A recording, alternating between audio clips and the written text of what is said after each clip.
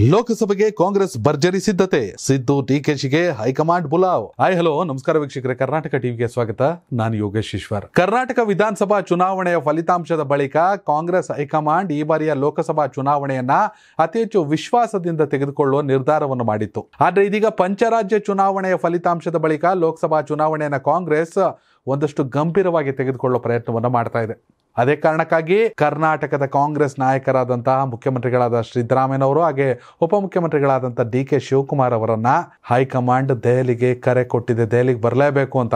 ಹೊಸ ವರ್ಷದಲ್ಲಿ ಹೊಸ ಕಾರ್ಯತಂತ್ರಗಳನ್ನು ರೂಪಿಸುವ ಮೂಲಕ ಲೋಕಸಮರವನ್ನು ಹೇಗೆ ಗೆಲ್ಲಬೇಕು ಕರ್ನಾಟಕದ ಇಪ್ಪತ್ತೆಂಟು ಲೋಕಸಭಾ ಕ್ಷೇತ್ರಗಳಲ್ಲಿ ಕನಿಷ್ಠ ಇಪ್ಪತ್ತನ್ನಾದರೂ ಹೇಗೆ ಗೆಲ್ಲಬೇಕು ಆ ಮೂಲಕ ಎನ್ ಡಿ ಎ ಮೈತ್ರಿಕೂಟದ ಬಿಜೆಪಿ ಮತ್ತು ಜೆ ಡಿ ಎಸ್ಗೆ ಹೇಗೆ ಟಕ್ಕರನ್ನು ಕೊಡಬೇಕು? ಹಾಗೆ ಎರಡು ಸಾವಿರದ ಹತ್ತೊಂಬತ್ತರ ಲೋಕಸಭಾ ಚುನಾವಣೆಯ ಹೀನಾಯ ಪ್ರದರ್ಶನದಿಂದ ಹೇಗೆ ಕಂಬ್ಯಾಕ್ ಅನ್ನ ಮಾಡಬೇಕು, ಅದಕ್ಕೆ ಗ್ಯಾರಂಟಿ ಯೋಜನೆಗಳನ್ನು ಹೇಗೆ ಸಮರ್ಪಕವಾಗಿ ಬಳಸ್ಕೊಳ್ಬೇಕು ಅನ್ನೋ ಲೆಕ್ಕಾಚಾರವನ್ನ ಮಾಡಲಿದ್ದಾರೆ. ಸಿದ್ದರಾಮಯ್ಯ ಅವರು ಮತ್ತು ಡಿ ಕೆ ಶಿವಕುಮಾರ್ ಅವರು ದೆಹಲಿಗೆ ಹೋಗ್ಬಿಟ್ಟು ಸುರ್ಜೇವಾಲಾ ಅವರನ್ನ, ವೇಣುಗೋಪಾಲ್ ಅವರನ್ನ, ಸೋನಿಯಾ ಗಾಂಧಿ ಅವರನ್ನ, ಹಾಗೆ ಮಲ್ಲಿಕಾರ್ಜುನ್ ಖರ್ಗೆ ಮತ್ತು ರಾಹುಲ್ ಗಾಂಧಿ ಅವರನ್ನ ಭೇಟಿಯಾಗೋದ್ರ ಜೊತೆಯಲ್ಲಿ ತಾವು ರಚಿಸಿರುವ ಬ್ಲೂ ಪ್ರಿಂಟನ್ನು ಅವರಿಗೆ ಪ್ರಸ್ತುತಪಡಿಸಬೇಕು ಅದರಲ್ಲಿ ಒಂದಷ್ಟು ಬದಲಾವಣೆಗಳೆಂದರೆ ಅದನ್ನ ಮಾಡ್ಕೊಳ್ಬೇಕು.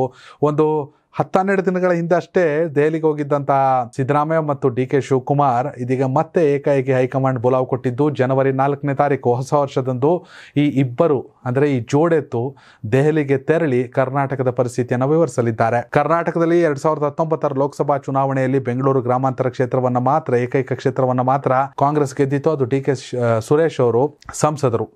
ಇದೀಗ ವಿಧಾನಸಭಾ ಚುನಾವಣೆಯಲ್ಲಿ ನೂರ ಮೂವತ್ತೈದು ಸ್ಥಾನಗಳನ್ನ ಜನರು ಗೆಲ್ಲಿಸಿರೋದರಿಂದ ಹೇಗಾದರೂ ಮಾಡಿ ಲೋಕಸಭೆಯಲ್ಲಿ ಕನಿಷ್ಠ ಇಪ್ಪತ್ತು ಕ್ಷೇತ್ರಗಳನ್ನು ಗೆಲ್ಲಲೇಬೇಕನ್ನೋ ಲೆಕ್ಕಾಚಾರ.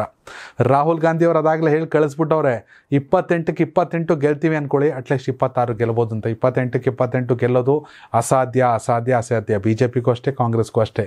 ಹೀಗಾಗಿ ಯಾವ ರೀತಿ ಗೆಲುವನ್ನು ದಾಖಲಿಸಬೇಕು? ಯಾಕಂದರೆ ಎರಡು ಸಾವಿರದ ಹತ್ತೊಂಬತ್ತರಲ್ಲಿ ಕೂಡ ಲೋಕಸಭಾ ಚುನಾವಣೆ ನಡೆದಾಗ ಕರ್ನಾಟಕದಲ್ಲಿ ಬಿ ಜೆ ಪಿ ಸರ್ಕಾರ ಇರಲಿಲ್ಲ. ಆಗ ಇದ್ದಿದ್ದು ಜೆ ಡಿ ಎಸ್ ಮತ್ತು ಕಾಂಗ್ರೆಸ್ನ ಸಮ್ಮಿಶ್ರ ಸರ್ಕಾರ. ಅಂತಹ ಸಂದರ್ಭದಲ್ಲೇ ಮೋದಿ ಅಲೆಯಲ್ಲಿ ಲೋಕಸಭೆಯಲ್ಲಿ ಕರ್ನಾಟಕದಲ್ಲಿ ಇಪ್ಪತ್ತೈದು ಸೀಟ್ಗಳನ್ನು ಬಿ ಜೆ ಪಿ ಗೆದ್ದಿತ್ತು.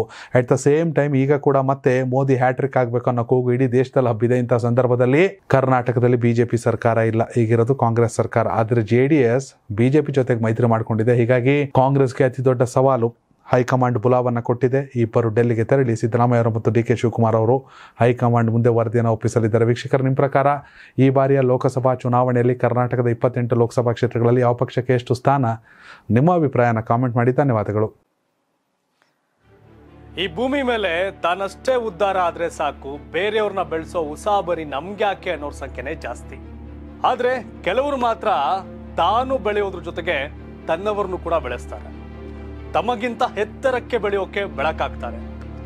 ಸಾಧಿಸುವ ಗುರಿ ಇದ್ದವ್ರಿಗೆ ದಾರಿದೀಪ ಆಗ್ತಾರೆ ಇದೀಗ ನಾನು ಇತರರ ಭವಿಷ್ಯಕ್ಕೆ ಬೆಳಕಾಗುವವರ ಸಂದರ್ಶನ ಮಾಡಲು ಹೊರಟಿದ್ದಾನೆ. ಮಿಸ್ ಮಾಡದೆ ನೋಡಿ ಕರ್ನಾಟಕ ಟಿವಿ. ದಾರಿದೀಪ